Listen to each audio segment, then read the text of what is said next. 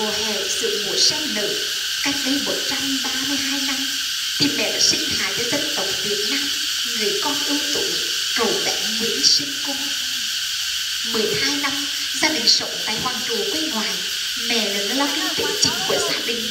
Ngày thì làm ruộng đêm về mẹ cắt gửi dệt vàng năm 1892 bà Hoàng Thị Loan người phụ nữ chân chính hoa người tre làng nhưng bà đã cao đảm quyết định biệt quê hương để cùng chồng và hai con trai vượt đường thiên lý bao vây giúp chồng ăn học bằng người an như vậy là gần 400 km cả gia đình bạn phải đi bộ bác chủ tịch năm tuổi chắc Dạ. còn trên lưng rồi mẹ đã cứ cho ngồi đầu quanh Mẹ mẹ đi con ạ.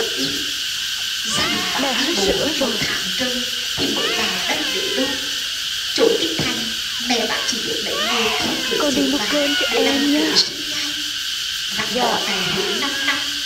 Mẹ bạn Đốn cơm cho em ăn sinh nha. con thứ tư là cậu Nguyễn Sinh Con mua Sinh. rượu mẹ uống nha nhưng các bác có vô hình dung mẹ bạn hồ sinh con không có nơi nương tựa thì chỉ vài ngày nghỉ ngơi ba đã trở mình dệt vàng lao động vất vả quá sự mẹ đã lâm ăn bệnh hiểm nghèo.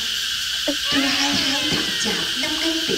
Tức ngày mùng 10 tháng 2 năm 1901 mẹ đã trút hơi thở cuối cùng vĩnh biệt chồng con ra đi.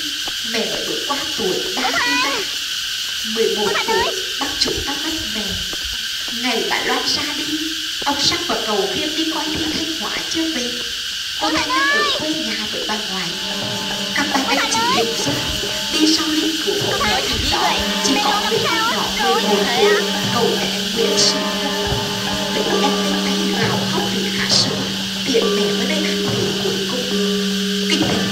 đừng bỏ nước đỏ tỉnh bác tỉnh em chạy khắp đất kinh thành để đi xin từng giọt sữa em đã khát sữa lần cầu nguyện sinh sinh cũng ra đi khi một bài tháng thi hài của bài năm đó bà con lao động phổ đông ba giúp đỡ lặng lẽ với bằng thuyền ngược dòng hương giang lên trôi cắt tại chân núi bất thuộc dãy núi tai tần sông hương thủy hồng mẹ an thì đã vừa đã tròn hai mươi Tôi cũng không năm được khóc Trong thành nội là năm một ảo là phạm 1922, cô chỉ lại bảo cách thừa xác cái hoàng thượng của Huệ thì cô Thanh được bí mật đem hai của cậu bé từ Huệ trở về vườn nhà làng sen an táng.